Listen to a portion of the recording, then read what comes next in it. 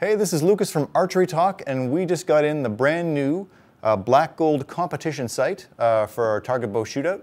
And uh, we're gonna have a look and see what's inside this, this box. And uh, here is the, uh, yeah, here's the main kind of sight bar. Here is the kind of scope mount. We've thrown on a specialty archery super scope, one and five eighth inch on this one. Uh, kind of use this for 3D setup. And then here is our part that mounts the scope onto the bow itself. Let's dig in.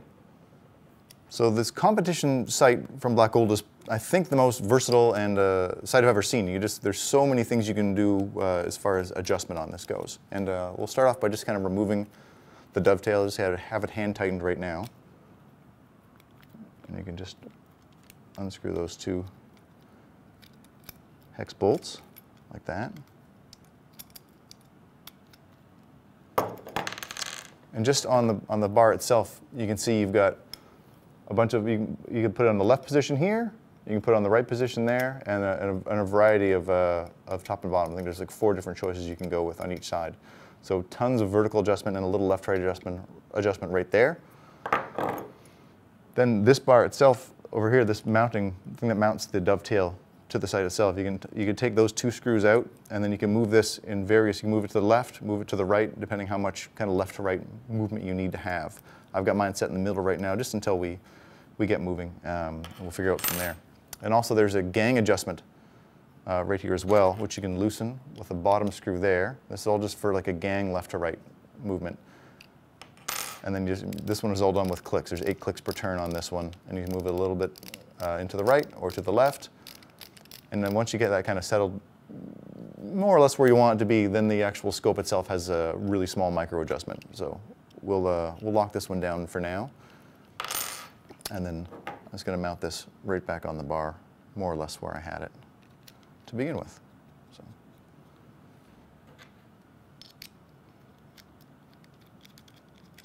so once you've kind of got the, the dovetail mounted on the sight itself, you can look at first axis adjustment, which is done uh, just via a single screw, which you can kind of see it right there. Takes a smaller Allen key, and then you can tighten, you turn it left or right, and there's movement marks right there, and kind of show you how much left to right you want to do. Um, so you, there's, there's a line on the actual sight itself you can kind of match up to the, to the one on the dovetail, and you can get it to your spot you want it to be, and then you're good to go lock it down. You're just gonna lock, then you get, after that you lock down the, the dovetail. You wanna have that kind of hand, just kind of, just, just loose enough for that to move. If it's just tighten down too much, it's not gonna be able to move. And that's your first axis adjustment. So once your first axis is set, uh, you can, oh, just like just about every other sight out there, you can start playing with your second axis adjustment. And for that one, we just have to loosen these two screws here, which I want to guess is this one. You need a lot of Allen keys for this thing. Um, by one minor complaint right now is there's, you have to keep about six of them on hand just to be able to adjust everything on this sight. Uh, not a huge deal, but once you get those loosened, there's a tiny little screw right there, which you just put the small Allen key in, same one as you use for uh, doing the first axis adjustment, and just make left or right turns. And once again, there's, there's, there's kind of lines you can match up on, uh, on the kind of the assembly and on the dovetail mount over there just left to right and get, get it all set up how you want it to be. Once you get it locked up into place, tighten that down, snug it down. And we're good to start looking at third axis. All right, with the first and second axis is done, we're going to look at the third axis now. Normally you'd want to have a scope on this thing and have it on a sight leveler, but just for purpose for our purposes, we're just going to show you how to do it. There's a there's two locking screws you have to loosen before you can start making adjustments. One is at the very top of the, uh, the dovetail. So you just kind of give that a half turn loose. And there's one again on, this, on the inside of the dovetail. And same thing, give it a little bit of a half turn twist, just enough to loosen it up. And now there's a larger screw right against the, the dovetail on the outside. And this is just really small adjustments here. I think it's like about half a turn left and a half a turn right is all you've got in it. And basically it just kind of moves the arm of the dovetail in and out just a little bit. Um, so that'll help you with your uphill and downhill shots so your sight stays perfectly level. So I'm just going to set mine more or less in the middle for now until I can get it on a good sight leveler, and then we'll cinch it down. Again, turn to, tighten up both sides. And this thing is now ready to go. I'm going to show you now how to put on the scope. And in this case, again, this is our super scope from Specialty Archery. I've got mine outfitted with a 4X lens on there for 3D purposes. This is a 1 and 1 5 8 inch scope. So we're just going to lock that down. It's similar to putting the scope on just about any other kind of popular uh, target sight. So once that's on, we can start looking at the micro windage uh, adjustments for your left to right. So we talked about the, the, two, the two at the base here you can play with for big, big major changes and gang adjustments, and this is your micro one.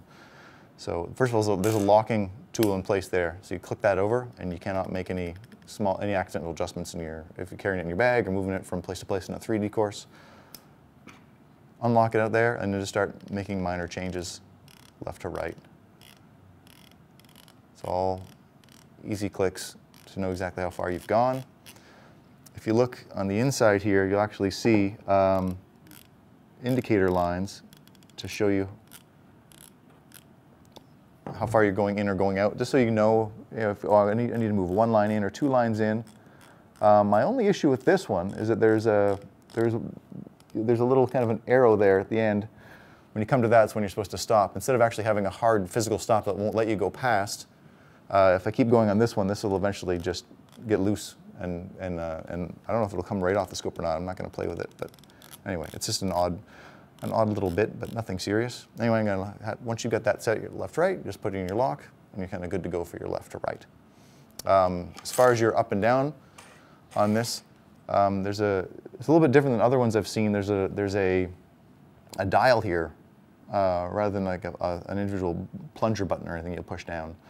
So if you, if you kind of stay, if you need to move the whole thing, uh, like for big adjustments, let's say you're at a 20 yard target and you're gonna go somewhere that's like a 50 yard target, you don't wanna do with micro clicks, you move that up, move the dial upwards two or three turns and then you can just move the whole block and do a big hard adjustment like that. And what you, if you wanna do micro adjustments, you kind of just turn that down a little bit. You don't wanna lock it hard, you just wanna take it off the lock a little bit uh, and then the micro clicks can, can catch. Uh, and these micro clicks are not available when it's fully loosened. So it will not do micro adjusts at the same time it can do kind of big, big, uh, big, big adjustments. So you kind of move it down almost to the lock position, but not quite, I think anyway. And then you can just start doing micro clicks for adjustments like that. It does, there's 20 clicks per turn on this thing and a total of, I think, 65 turns. Um, so on, on, the, on the tape that comes with that, that'll be like a 65 yards of adjustment on most sight tapes. On most, most bows, you're going to be going much more than that, but that just kind of gives you a, a general example. Um, another thing I really like on this thing is the actual pin, uh, which you can see in there. So unlike some other pins, uh, this one is, is, actually nice and solid. It's, it's, it's flush against the, uh, against the side just about, so you're not going to catch yourself on it, you're not going to poke yourself with it. It's easily visible, and uh, if you need to move it up or down, let's say you put a sight tape on there, you're not, you don't have it quite right, it's super easy to adjust. You just loosen that, that hex screw again, and you can just start sliding this thing up or down to get to your starting point. And then you're good to go. And there's also three different screws there. Um, so you can, if you, need, if you need to have it a little bit higher in the yardage, you can move, it, move the screw up there, or a little lower, move it there, or vice versa, whatever you need to do. Anyway, find your spot, lock it down. There's one on the outside, and there's one on the inside. So if you want, this is probably where you put your own sight tape, on the inside right there. And so you just make the same movements there. A little loosen of the, of the screw here, let you move that up and down, or you can replace it and put it one of the other holes entirely. When you're ready to put this on the bow, the competition sight, that's got the regular, this is what mounts the, this connects the dovetail to your actual bow. And again, it's super similar, just anything else might see. You just slide it in, oops, loosen that a little bit, find your, find your spot you like to keep it at, and then I was talking to uh, one of the pros I know who shoots this particular sight, and it's got a bit of a Delrin uh, end on the end of the screw, and so you really have to cinch it down hard, really squeeze it hard to keep make sure it stays into place. And once you do that, then you'll be locked and loaded, and uh, this thing won't move for you when you got to go to target to target. So the big choice for us now was to figure out which bow we were going to put this on of the four bows we were testing. And so I figured I'd ask the people. So we went on the Archery Talk Facebook page and asked if they wanted to have this uh, black gold competition sight on the Bowtech Fanatic, the Prime STX39 V2, the Hoyt Prevail 40, or the Mathews TRX7. And uh, the people chose to put on the Bowtech Fanatic 3.0. So that's what I'm going to do this week. Uh, I'll play with that and uh, see how it all works out in actual real life action. I've never, I'm not, this has not been mounted on a bow yet, so I'm looking forward to trying.